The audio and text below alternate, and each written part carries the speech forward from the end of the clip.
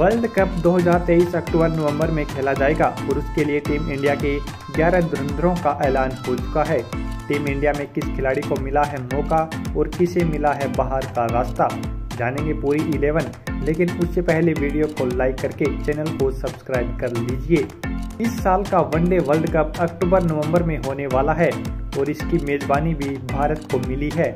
World cup 2011 की तरह team India एक बार फिर वर्ल्ड कप को अपने नाम करने के इरादे से उतरेगी। इसके लिए टीम इंडिया ने तैयारी अभी से शुरू कर दी है।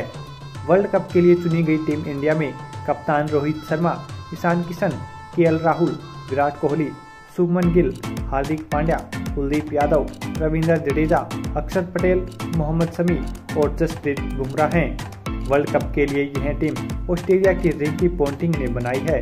रिकी पोंटिंग ने इस प्लेइंग इलेवन से सूर्य कुमार यादव और मोहम्मद सिराज को बाहर करके सभी को हैरान कर दिया है।